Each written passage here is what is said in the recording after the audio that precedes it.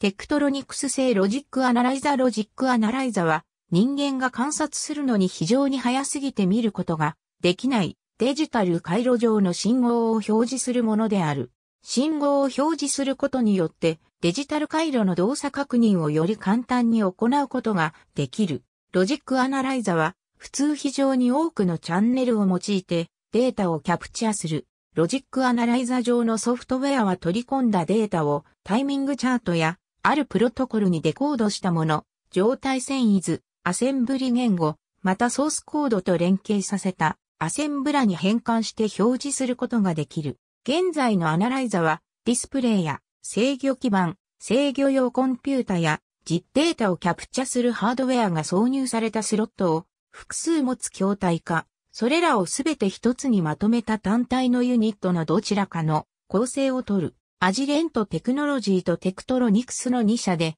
約95%ものシェアを誇る。ロジックアナライザは複雑な順序からなるイベントをトリガにでき、テスト環境下にあるシステムから大量のデジタルデータをキャプチャすることができる。最もいいロジックアナライザは、コンピュータプログラムの実行の流れを見せたり、プロトコルをデコードすることで、メッセージや実行違反を見せたりするなど、ソフトウェアデバッガのような振る舞いをしてくれる。ロジックアナライザが最初に現れたとき、それは普通デジタルシステムに数百のクリップをつけるのが当たり前だった。後にクリップをつける代わりに特別なコネクタをつけるものが現れた。ロジックアナライザのプローブは複数のベンダのサポートやそれに伴うエンドユーザーの選択の自由などよくある進化の道筋をたどってきた。2002年の4月にはコネクタが必要のない技術が使われるようになった。これらのプローブは丈夫で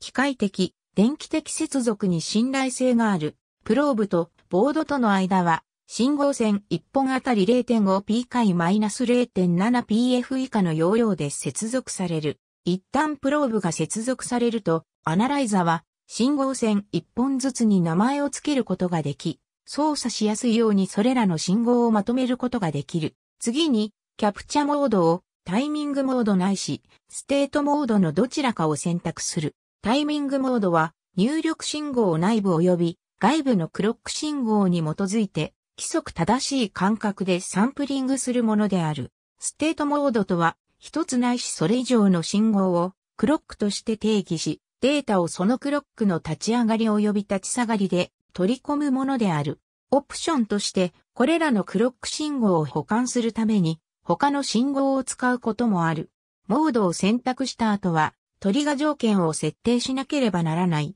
トリガ条件は単純なものから非常に複雑なものまである。この時点で1回だけトリガをかけるか繰り返しトリガをかけるかを選び、ユーザーはアナライザをランモードに設定する一旦データをキャプチャすると、波形や状態が表示される単純なものから、イーサネットプロトコルをデコードする複雑なものまで、様々な方法でデータが表示される。また、アナライザをコンペアモードに設定できる。このモードの時、アナライザは以前に記録したデータとキャプチャしたデータを都度比較し、一致するしないでトリガーをかけることができる。このモードは長時間のエイジングテストに役に立つ。最近のアナライザはトリガに成功すると電子メールにテストデータを貼り付けエンジニアにデータを送信することさえできる。IC を使う多くのデジタル回路設計においては各ユニットを作る前に、それらが及ぼす影響を知るためにシミュレーションを行う。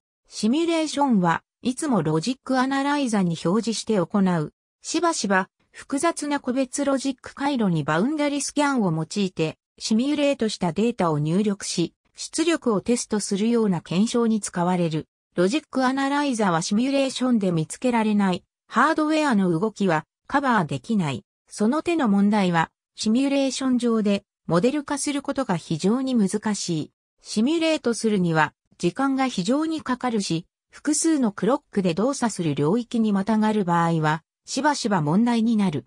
例えば、フープ側はロジックアナライザによってよく測定されるものになった。ありがとうございます。